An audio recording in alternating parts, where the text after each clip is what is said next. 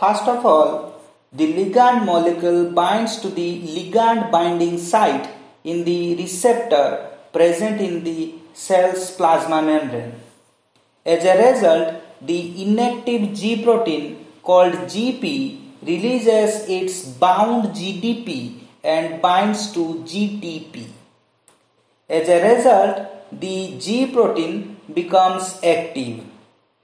Here, the P in the GP stands for activation of phospholipase C.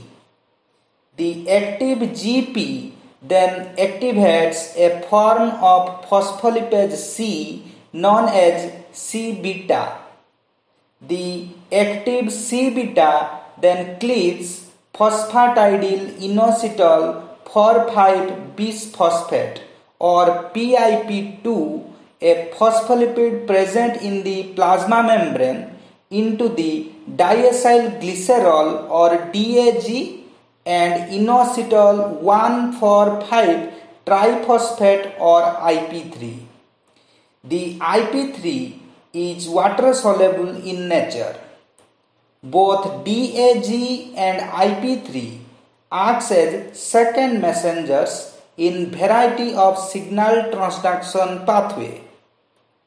After cleavage, the IP3 is released into the cytosol and there it triggers the release of calcium ions from intracellular stores like endoplasmic reticulum.